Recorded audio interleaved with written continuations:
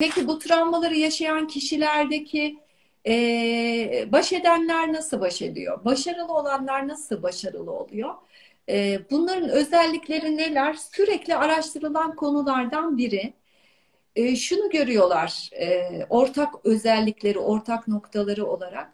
Öncelikle e, travmaları ne kadar büyük olursa olsun, e, kaderleri ne kadar aşılamaz olursa olsun bunu kabul ettiklerini görüyorlar. Evet ben böyle bir travma yaşadım, böyle bir kaderim vardı, böyle bir şey yaşadım. Ama e, iyi olabilir, düzelebilir ve iyimser bir bakış. Öncelikle yaşadıklarını kabul etme. Evet böyle bir durumu yaşadım artı eksi yok. Böyle durum bu. E, ve bu durum iyileşebilir, iyimserlikle baktıklarını görmüşler. Yani kötümser bakış açısı burada işe yaramıyor. İyimser bakmak gerekiyor. Ve kurban gibi hissetmemişler işin ilginç tarafı. Bütün insanlar çeşitli travmalar yaşıyor.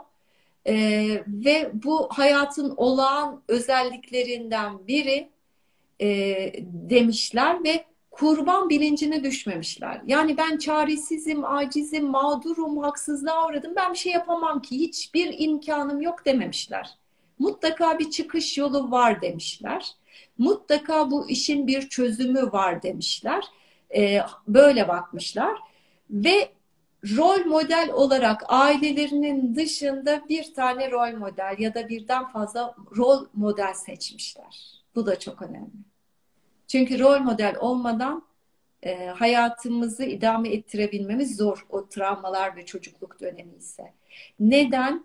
Eğer sağlıklı benlik geliştikten sonra travmalar oluşursa bununla baş edebilmek daha kolay.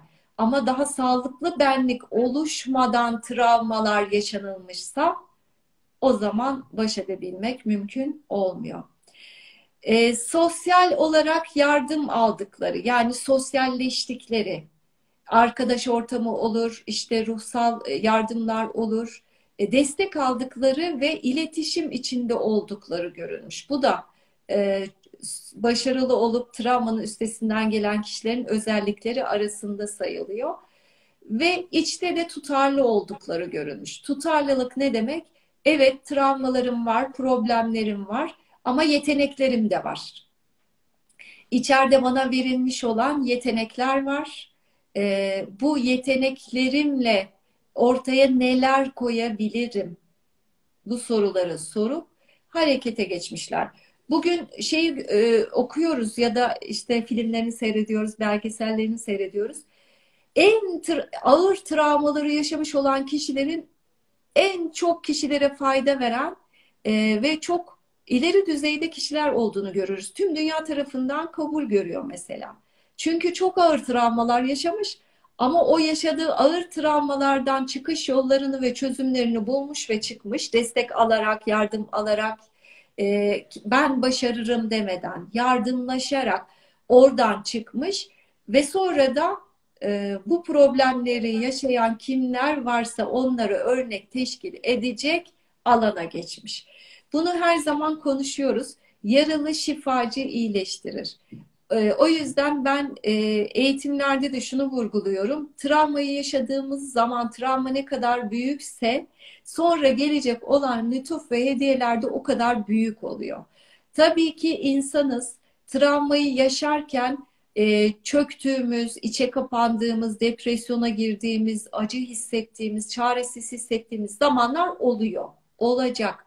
Ama biz bunları bir süre yaşadıktan sonra bu duygulara yapışıp kalmazsak, bu duyguların gitmesi için alanımızı açarsak, bu duyguları serbest bırakırsak o zaman oradan o büyük travmaların içinden büyük farkındalıklar çıkıyor ve bu büyük farkındalıklar kişiyi kişinin hal etmesini sağlıyor. Hal eden kişinin başkalarına dokunması farklı oluyor o zaman e, yaralı kişiler başka kişilerin yüreklerine, kalplerine daha rahat dokunabiliyor. Belki de bu programı izleyen e, pek çok travma yaşamış, acılar içinde olan, önce yaşamış, şimdi yaşayan pek çok arkadaşımız vardır. E, şunu bilsinler ki e, travmaların gücü kadar kendi güçleri var. Travmayı aştıktan sonra, travmayla ilgili bakış açılarını dönüştürdükten sonra ve en önemlisi o içerideki bölünmeleri birleştirdikten sonra bambaşka bir hayat ve bambaşka bir süreç ortaya çıkacak.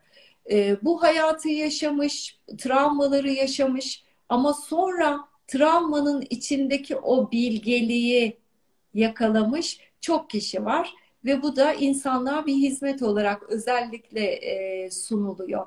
Burayı belirtmek istiyorum. Peki bizler içeride e, travmatize parça, hayatta kalan parça, yeteneklerimiz, sağlıklı parça gibi bir sürü parçalar içeride birbirleriyle savaşırken çatışma yaşamamız çok normal.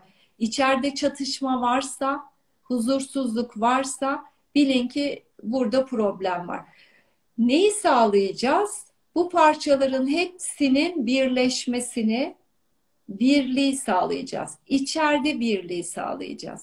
İçeride birliği sağlarsak dışarıya da nasıl bakarız? Bir ve bütün olarak bakarız. O zaman insanları, canlıları, işte varlıkları, e, hayatı, anlayış şeklimiz değişir. Birleyebiliriz.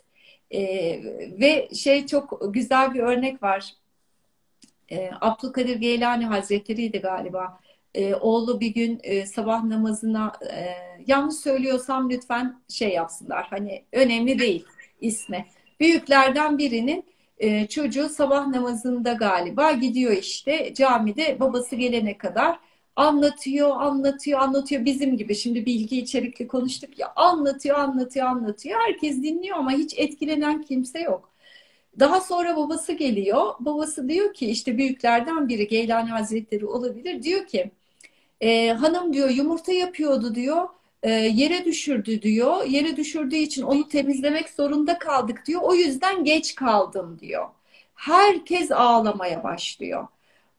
Çocuk e, oğlu diyor ki yani ne oluyor burada? Ben o kadar efsane bilgiler anlattım, bir sürü şey anlattım. Hiç kimse etkilenmedi. Senin anlattığın o olaydan herkes ağlamaya başladı. O da diyor ki oğlum sen kal ehlisin kelimelerle konuşuyorsun. Hani hal etmemişsin. Kal ehlisin. Biz hal ehliyiz diyor.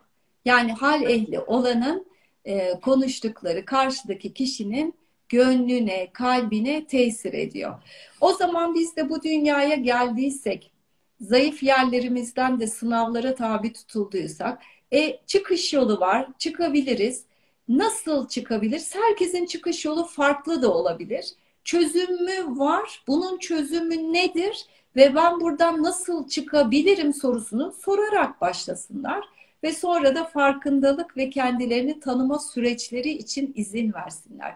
Çocuklarını tanımaya gayret göstersinler. Çocuklarıyla göz göze temas kurdukları anlar oluştursunlar. Bu bağlanmanın en güzel tedavi yöntemlerinden biri. Ne yapsınlar? Mesela randevu saatleri oluştursunlar. Ee, kızlarıyla, oğullarıyla bire bir. Ee, üç tane çocuk varsa üçüyle aynı anda değil. Bire bir. İşte ne bileyim kahve içsinler, çay içsinler, bir yerde otursunlar. İşte seninle salı günü saat işte ikide randevumuz var unutma desinler. Evden çıkıp orada buluşup göz göze konuşsunlar. Çocuklarının konuşmalarına izin versinler fark etsinler ki önce göz göze bakılamıyor. Az bakılıyor. Çok temas kurulamıyor. O gözlerdeki acıyı görüyor önce kişiler. Bırakın orası tedavi olsun. Daha sonra oradaki ışığı ve sevgiyi gördüğümüz zamanlar da gelecek. O zaman ne olacak? Çocuklarımız belki çok sıkıntılı şeyler yapmayacaklar. En azından o bağlanmayla ilgili içteki o kabul görmeyle ilgili içte yaraları varsa Onlarla ilgili e, süreç başlamış olacak. Bunu da tavsiye edebilirim.